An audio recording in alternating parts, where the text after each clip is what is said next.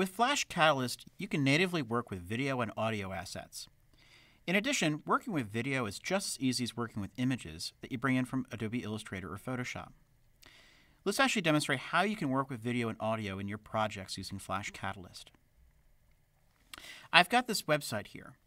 I want to bring in a video to play as the, uh, as the background of my project here.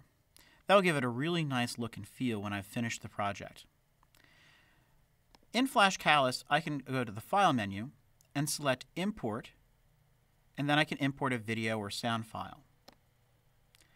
When I go to uh, when I go to uh, my my video file, I can import an F4V, FLV, or MP3 audio file. If your video is in another format, you can use the Adobe Media Encoder to convert it into any of these three formats. So I'm going to select this particular video file, and then select Open. Automatically, when you import a video into Flash Catalyst, it's going to create a video player wrapper around it.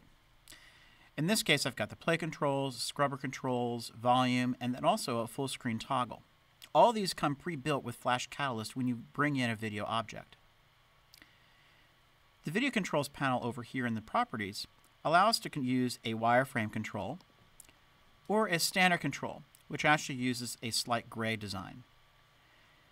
But in this particular case, I don't want to have a video control. I want this to play in the background of my application. So I can select None, and all the video controls will disappear. Now, I actually want to position this particular video player behind this mask that I've created I'm going to rearrange that in my in my layers panel here. And as you can see, I've got these, these ovals, highlights, and this mask on top of it that actually will then uh, change the, the look and feel of the, of the video. I can resize the video just like any other vector or bitmap object.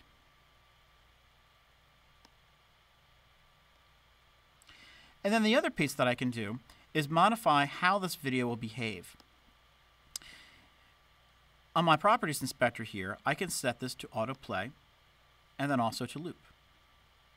So now when I run my project, the video will automatically loop. Let's take a look at the finished project. As you can see, the video here is playing with that same jellyfish, uh, jellyfish video in the background, but it's continuing to loop. And this automatically plays when I launch the application. Now let's talk about audio files. Working with audio is a little bit different than working with video because I might want to choreograph multiple audio files within a particular transition or within a specific effect. Let's open up our timelines panel because we're going to be working with that when we do this particular part. On the menu page of our, of our website, we have a number of buttons down at the bottom.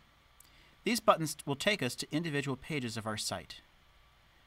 In this case, we've got this we've got one here that will take us to the video. If I select the transition here for menu to video, I can then define how this will actually behave. This is where I start adding in the video, uh, start adding in the audio asset. To do that, I'm going to press the plus button here for add action. And then I actually want to use sound effect. When you use this, you're allowed to select an existing asset that's already been imported into Flash Catalyst. Or I can import directly from this panel. I'm going to select this MP3 file here, click Open. It will then import that MP3 file into the project. I can preview it here, and then click OK. As you can see, that sound effect has now been added into my timeline here.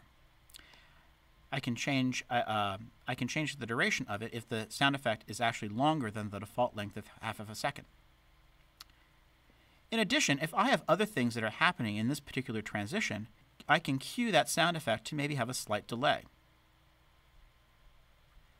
So that's how you work with video and audio assets inside of Flash Catalyst.